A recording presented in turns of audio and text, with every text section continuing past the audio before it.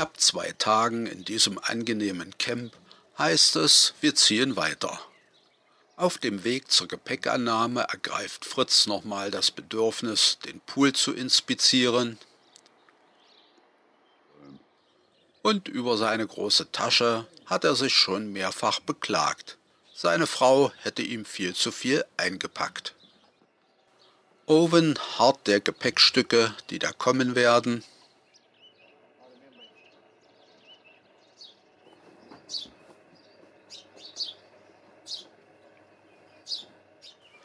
Fritz hat noch einen guten Einfall. Er putzt die Windschutzscheibe.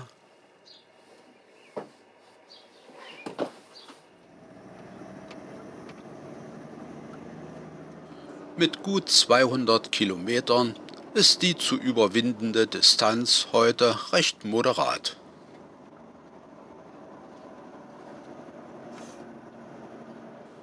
Was man dabei sieht, ist Wüste pur.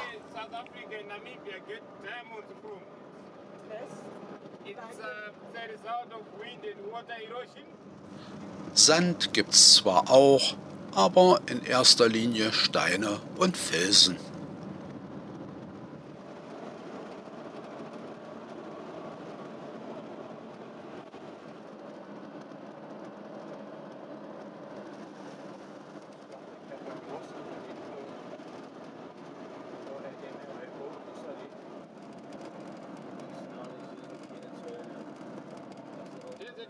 Ab und zu sieht man Springböcke und man fragt sich, wie diese Tiere es fertigbringen, in dieser Gegend zu überleben.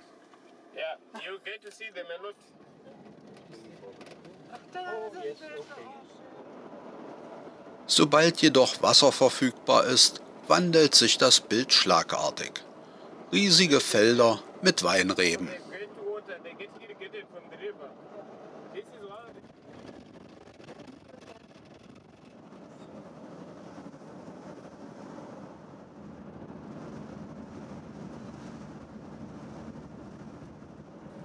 Nach rund einer Stunde Fahrt erreichen wir die Stadt Außenkehr im Oranjetal. Der Name lässt Deutschstämmigkeit vermuten und in der Tat haben Deutsche 1910 hier eine Farm gegründet, umfangreiche Bewässerungsprojekte begonnen und Wein angebaut. Die Trauben reifen hier früher als in Südafrika, nämlich Ende November und somit kann man den europäischen Markt noch in der Vorweihnachtszeit beliefern. Die Bewässerungsprojekte hat man ausgeweitet und heute werden auf mehr als 1300 Hektar Weintrauben angebaut. Außenkehr ist eine der am schnellsten wachsenden Siedlungen in Namibia. Und vielleicht liegt es auch daran, dass man die Einwohnerzahl nur sehr grob schätzen kann. Die Angaben schwanken zwischen 15.000 und 30.000. Die Bilder zeigen, dass die meisten Einwohner recht primitiv in Schilfhütten wohnen. Trotzdem herrscht Wohnungsnot. Das Zentrum des Ortes ist ein Supermarkt, wo reges Treiben herrscht. Auffällig sind Warteschlangen, die wir uns nicht so richtig erklären können. Vielleicht hat das mit einer einfachen Form von Sozialhilfe zu tun. Marlies leistet noch Entwicklungshilfe vor Ort, indem sie einen Kartoffelsack bezuschusst, für den ein kleiner Junge nicht genug Geld hat.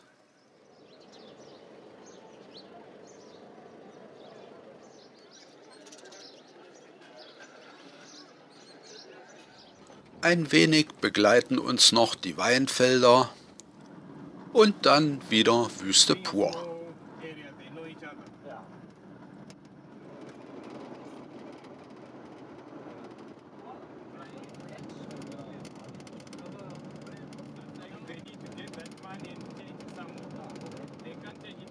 Ein Blick in den Rückspiegel zeigt, dass man auf dieser Strecke besser kein Fahrzeug vor sich hat.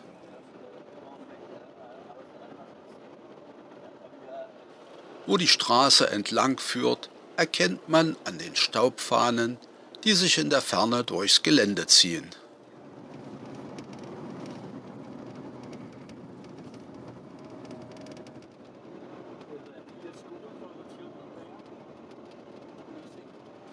Dort drüben, das sind nicht etwa Pfützen in der Wüste, sondern Luftspiegelungen, die Wasserlachen vortäuschen.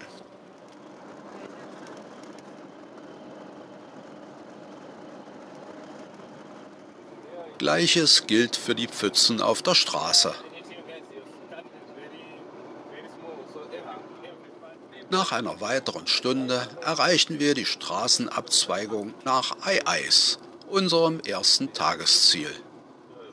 Kurz nach der Kreuzung eine Sperre für Huftiere, was andeutet, dass hier ein Wildreservat beginnt. Unterwegs konnte man schon eine Weile einen Zaun von etwa 1,20 Meter Höhe sehen. Für Springböcke ist das allerdings kein echtes Hindernis.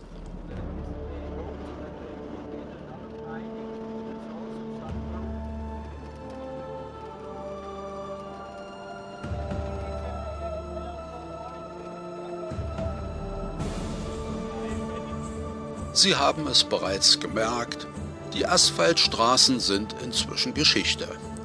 Trotzdem eine ordentliche Ausschilderung der Wege.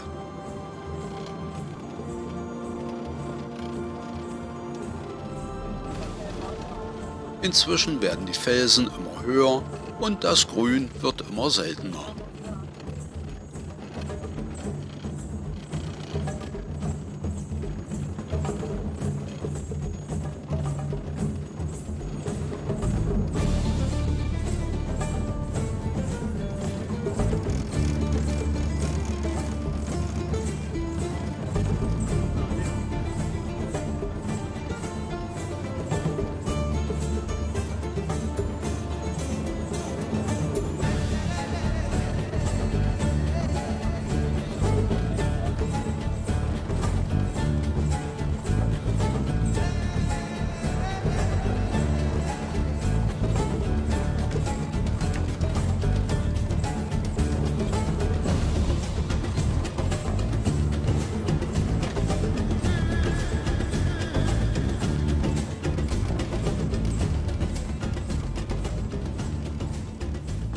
Plötzlich tauchen jedoch ein abgetrennter Bereich und eine grüne Oase auf. Wir haben die heißen Quellen von Ei-Eis erreicht. Gleich noch die Warnung, auf Spitzbuben in Form von Pavianen zu achten, die können praktisch alles gebrauchen. Es handelt sich hier um ein recht weitläufiges Ressort und Owen sucht nach einem geeigneten Parkplatz. Geeignet heißt Mittagessen tauglich. Aber das kommt erst etwas später. Zunächst wollen wir die Möglichkeiten von Ei-Eis nutzen. Und Fritz begibt sich sogleich auf Erkundungstour.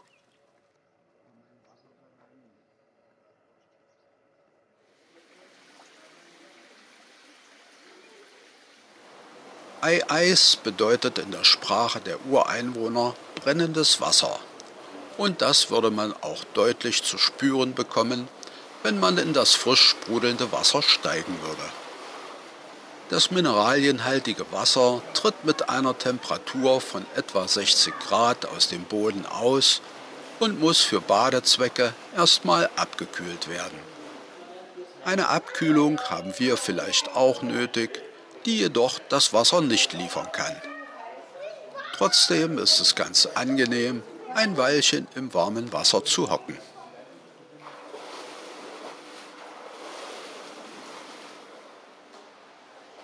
Die Badehalle hat links und rechts oben direkte Zugänge zu den Apartments.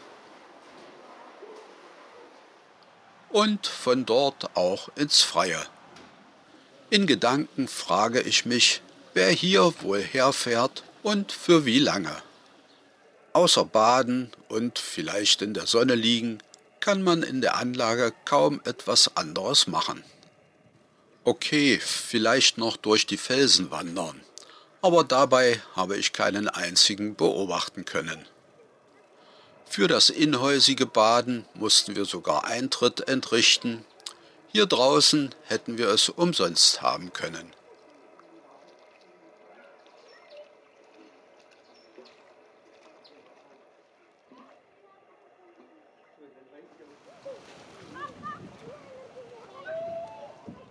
Ein Stück neben dem Schwimmbecken weckt ein großes Holzgestell mein Interesse.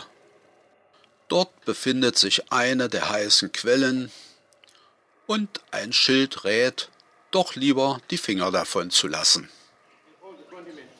Inzwischen hat Owen den Tisch gedeckt und es gibt Mittagessen.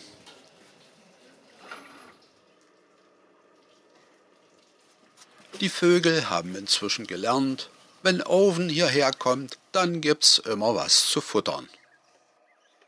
Manchmal tauchen sie sogar auf dem Tisch auf, wenn wir noch beim Essen sind.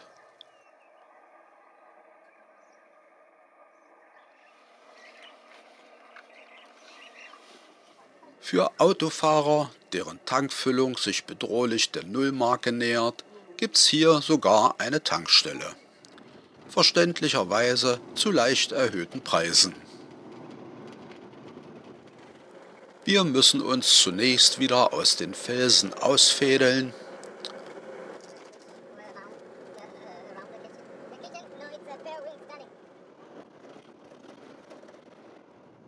und dann die Abzweigung zum Fish River Canyon erwischen.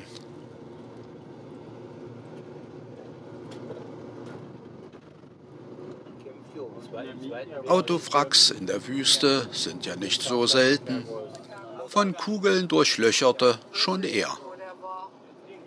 Hoffen wir mal, dass die Schützen inzwischen alle Munition verschossen haben.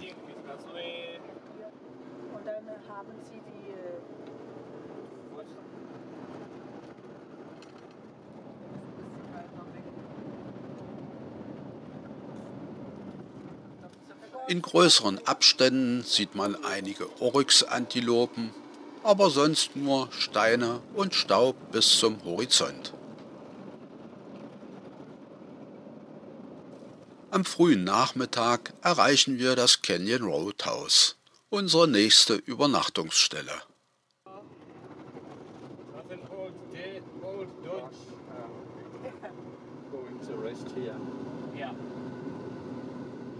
Und ein weiteres Mal fragt man sich, wo denn hier das Wasser herkommt. Es gibt hier tatsächlich Wasser, allerdings in größerer Tiefe. Früher hat man das Wasser mit diesen Windrädern gefördert, heute sind sie meistens nur noch Dekoration. Die Köcherbäume beherrschen das Kunststück, an dieses Wasser irgendwie heranzukommen. Das Canyon Roadhouse täuscht leider nur eine Lodge vor. Owen manövriert das Auto am Hauptgebäude vorbei auf den Campingplatz und der hat übrigens keinen Zaun drumherum. Heute werden wir also erstmalig in Zelten schlafen und Owen erklärt uns, wie dieselben aufgebaut werden.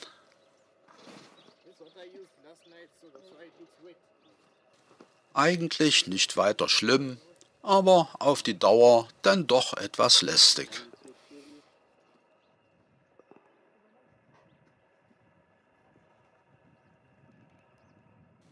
Die Sanitäranlagen sind in Ordnung, allerdings gut 100 Meter entfernt. In der Nacht ein bisschen weit. Bis zum Pool ist es ungefähr genauso weit und dort tauchen wir auch alsbald auf. Der Weg zum Pool führt über eine Brücke, die andeutet, dass hier, wenn auch selten, Wasser entlang fließen könnte.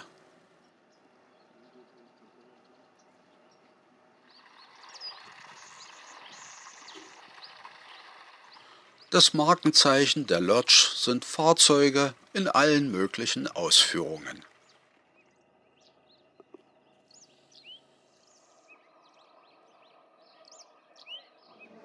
Im Hauptgebäude hat man eher den Eindruck, in einer Autowerkstatt zu sein. Zugegeben, in einer sehr gepflegten.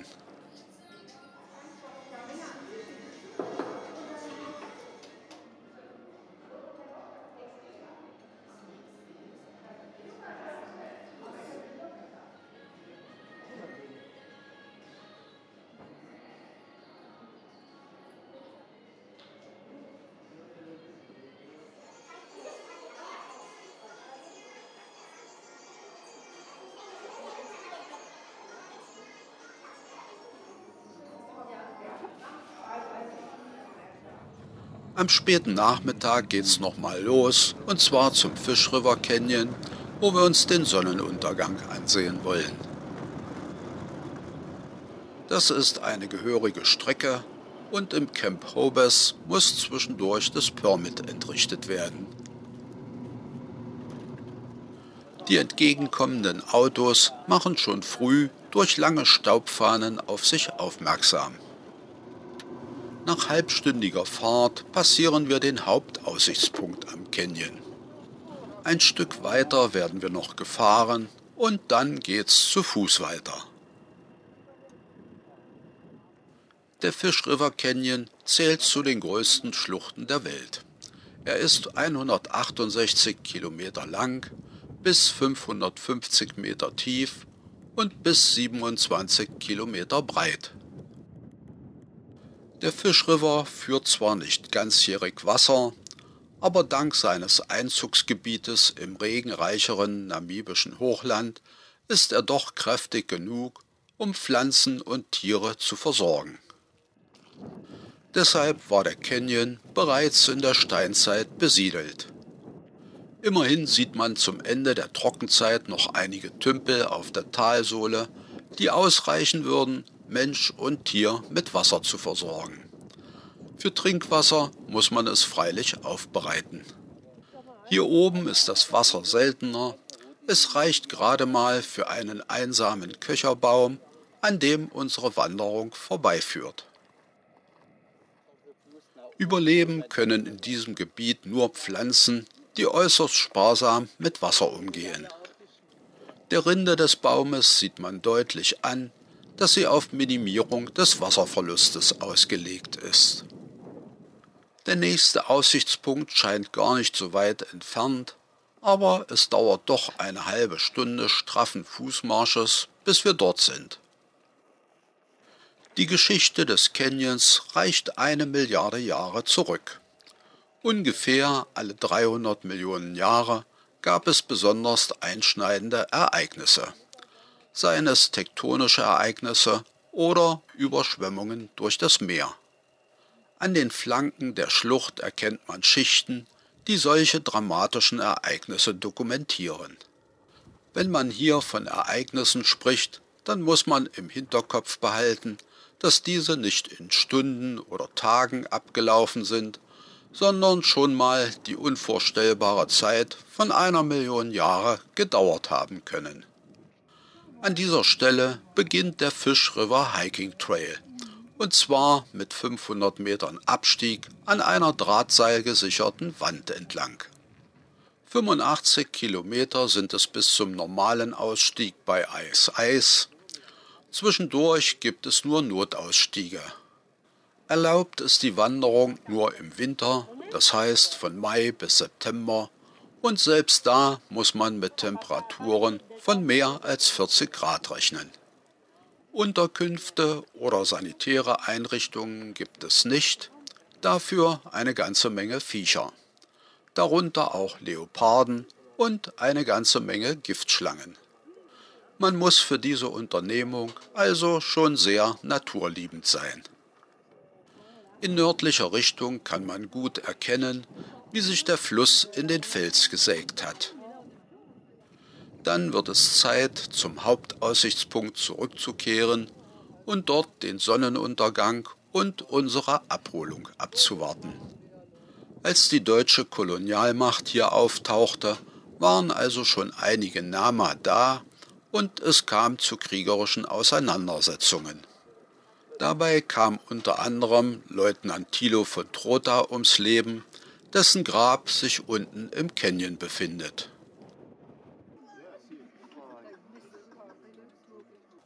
Am Aussichtspunkt gibt es sogar Sitzgelegenheiten, bequeme wäre übertrieben, und Tische für Picknick oder um auf dem Handy herumzuklimpern.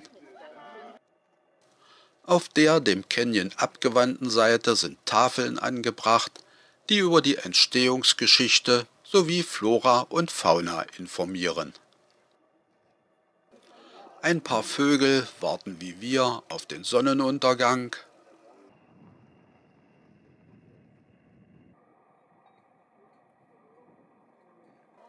Und dann senkt sich die Sonne zunächst langsam und dann ganz schnell hinter den Horizont. Inzwischen ist Owen mit dem Auto wieder aufgetaucht und bringt uns dann zurück ins Camp. Dort gibt's noch Abendbrot und dann verkriechen wir uns in die Zelte und Schlafsäcke.